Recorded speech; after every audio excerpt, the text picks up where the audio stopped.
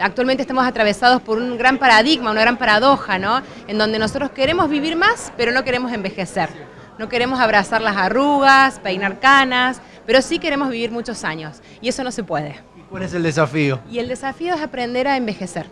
Porque en realidad la vida es un proceso constante de envejecimiento. No es que de repente devenimos en viejos, sino que el envejecimiento es un proceso inherente a la vida. Envejecer es vivir y vivir es envejecer. Si yo no aprendo a vivir, tampoco voy a poder aprender a envejecer. ¿no? Obviamente que llega un momento en la vida en donde ese envejecimiento genera impacto en uno, sobre todo físicamente, ¿sí? Pero eso no es sinónimo de deterioro físico, no es sinónimo de deterioro cognitivo, no es sinónimo de pérdidas de deseos, de pasiones, de proyectos, todo lo contrario. Em, los niños que han, nacido después del año 2000, en pleno siglo XXI, ya está comprobado científicamente que van a poder llegar a vivir 100 años. Entonces ya es todo un desafío hasta generacional de empezar a pensarnos como personas envejecientes y de qué modo vamos a proyectar nuestra vida durante 100 años. Porque la verdad que son mucho, es mucho tiempo. En realidad todas las etapas de la vida conllevan desafíos, ¿no? desafíos muy importantes.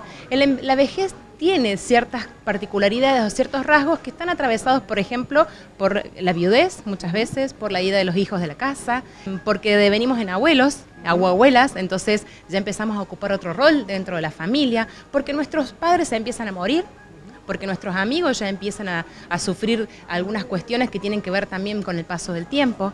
La jubilación es un hecho muy importante y casi eh, crítico, si se quiere, en muchas personas, pero eso lo mismo sucede cuando uno se casa y cuando uno deviene mamá, deviene papá, o cuando uno termina el, primario, pasa a la secundaria, de la secundaria a la universidad. Todas las etapas de la vida tienen sus desafíos. Y cada uno es importante de acuerdo también a cómo uno lo va viviendo. Yo creo que uno va envejeciendo también del modo en que uno elige. Mientras más vieja soy, más diferente soy del otro. Porque lo que me va a distinguir a vos de mí es mi trayecto de vida. Entonces, mientras más años tengo, no voy a poder hablar de un solo tipo de vejez. En esta cultura envejecer no es fácil. No es fácil porque estamos atravesados por, muchos prejuicios. Eh, y nadie ya lo menciona en un documento muy importante que tiene eh, en contra de, todas las determinadas actitudes que tenemos, que tenemos con los adultos mayores, que puede ser también asociadas a que creemos de que cuando uno ya deviene viejo perdemos también el deseo y el erotismo. Ya de repente no nos podemos enamorar, no podemos decir un otro.